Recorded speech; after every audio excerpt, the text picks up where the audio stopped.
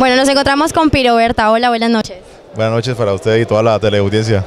Bienvenido a Furia Roja. ¿Cuál es su concepto del partido el día de hoy? Bueno, pues lo importante yo creo que se gana, es lo, lo, más importante. Todavía hace mucha falta mucho fútbol. Esperemos que América siga pues compenetrándose y, y que las líneas sigan mejorando. Pero hoy yo creo que es lo único importante es que se ganó y, y eso es lo importante, sumar de a tres. ¿Qué le hacía falta a la América de Cali para lograr un resultado el día de hoy? No, yo creo que de todo es aptitud, de que los jugadores se mentalicen de que están jugando en un equipo grande y, y esa es la idea de un equipo que es ganador. ¿Cómo vivió el partido del día de hoy desde la tribuna? Bien, bastante bien. Eh, pues o sea, se sufrió bastante, pero lo importante fue que se ganó y pues eso era lo que se, se buscaba. Se ganó, que es lo más importante. Venía el equipo con muchos nervios, venía mucha presión y creo que de la manera que sea, jugando un poco mejor, pero aún angustiosamente, se ganó el partido y con eso la presión baja.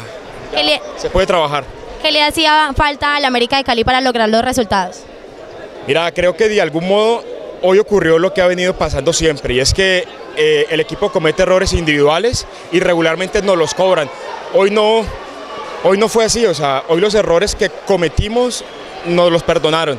Hay que trabajar mucho, pero es mejor trabajar ganando que trabajar perdiendo como veníamos haciéndolo. El jugador destacado, la figura del partido. Sí, sin lugar a Botinelli, el pollo jugó el mejor partido definitivamente. Pues lo más importante es que se baja la presión y ganamos. Ese es el resultado ante todo. No se jugó un buen partido, hubieron unos picos relevantes con algunos jugadores, pero es un partido fundamental para ganar y empezar a subir otra vez. ¿El jugador destacado del partido el día de hoy? Botinelli.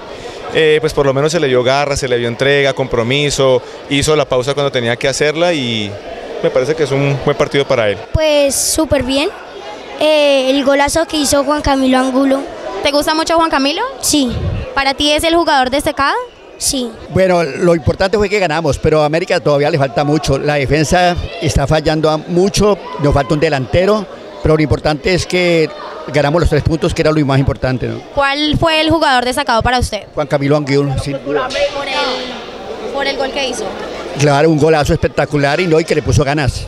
¿Cómo vivís el partido desde la tribuna? Sufriendo, eh, eh, pensé que iba a comenzar la Semana Santa. ¿Cómo es su nombre? Marco. ¿Cuál es su concepto del partido del día de hoy?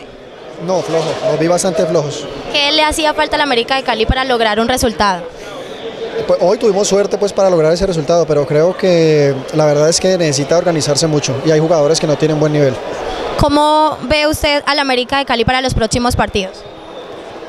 La verdad me preocupa, pero pues esperamos a que esto mejore. Andrea Cuevas. Andrea, ¿cómo viviste desde la tribuna el partido del día de hoy?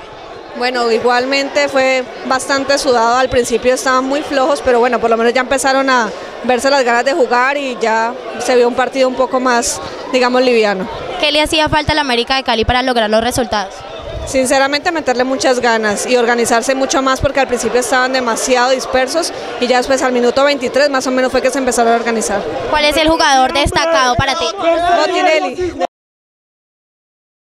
Furia Roja.